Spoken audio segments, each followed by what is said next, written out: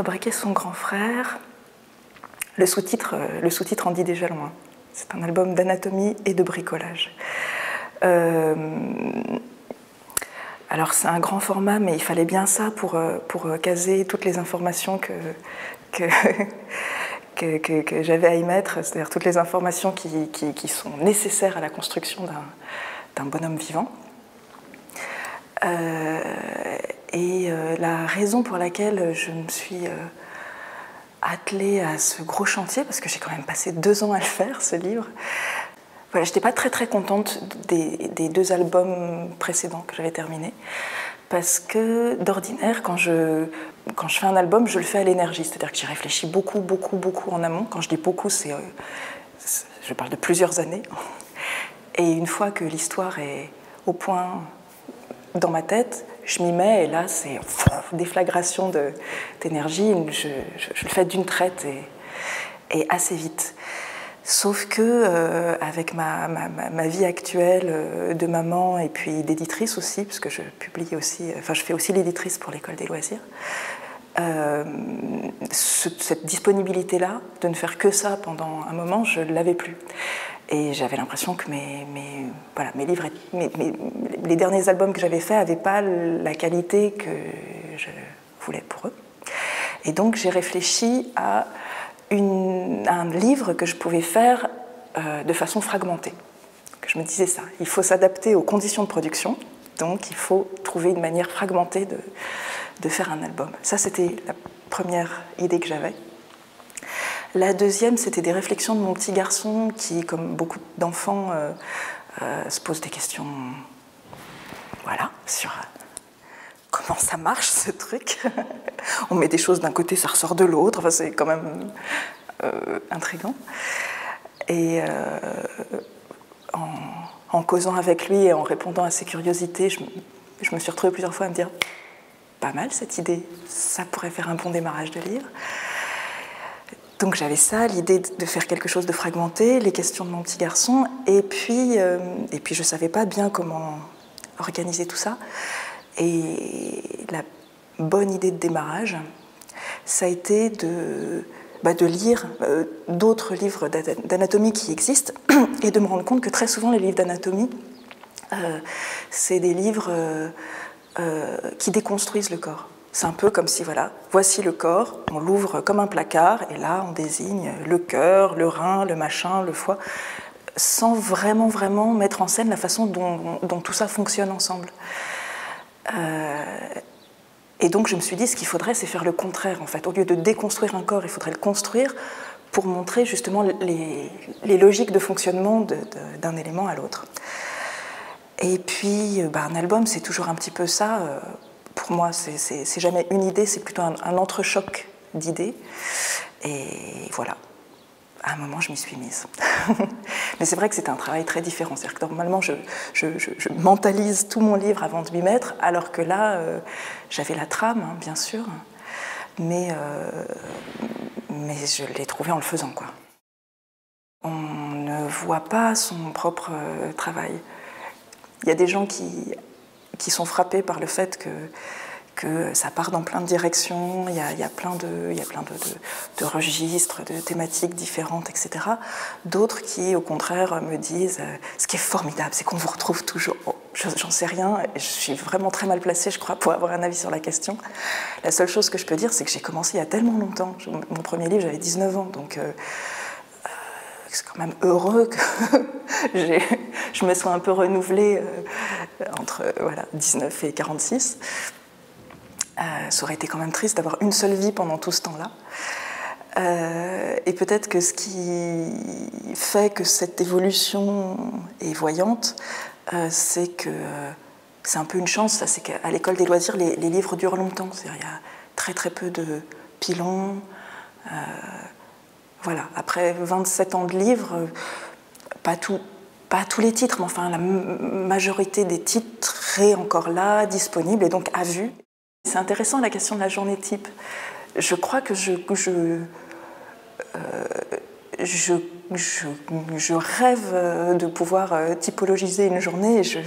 C'est un, un, fantasme en fait de me dire ok, le matin je me lève et puis je fais ceci. J'adorerais avoir des habitudes, mais j'ai jamais réussi.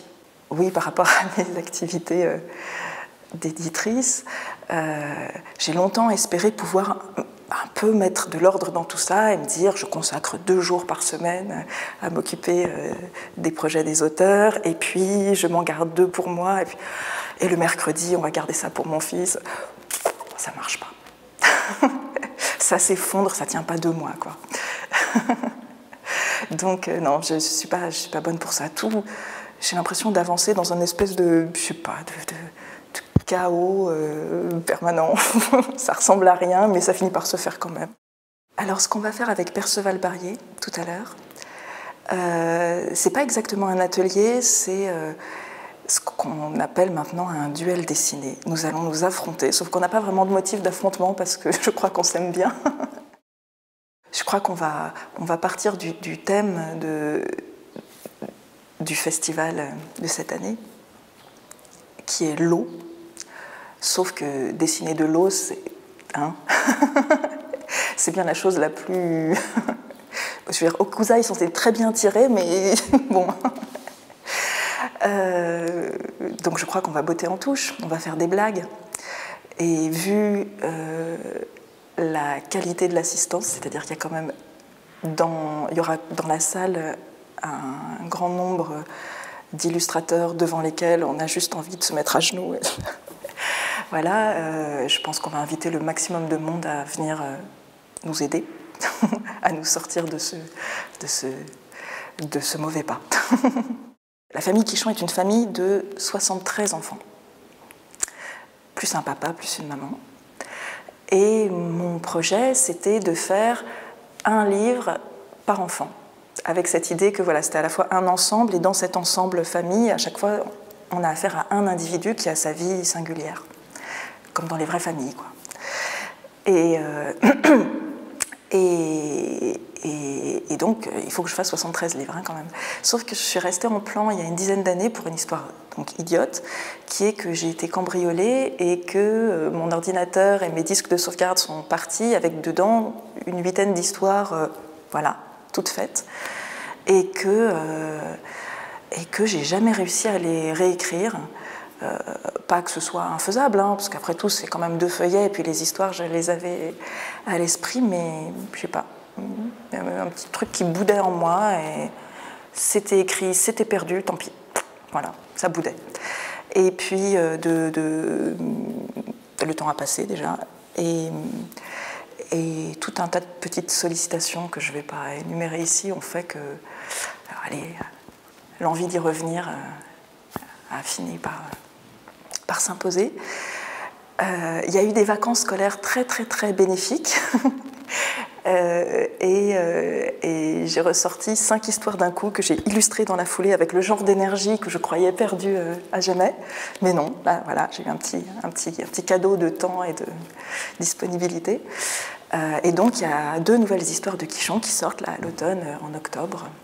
Ce sera celle de Sacha Quichon et puis euh, celle de Mimi Quichon, qui est un genre de préquel de la famille Quichon, en fait. Alors Tommy Ungerer, euh, je l'ai lu enfant, beaucoup, beaucoup, beaucoup. Euh,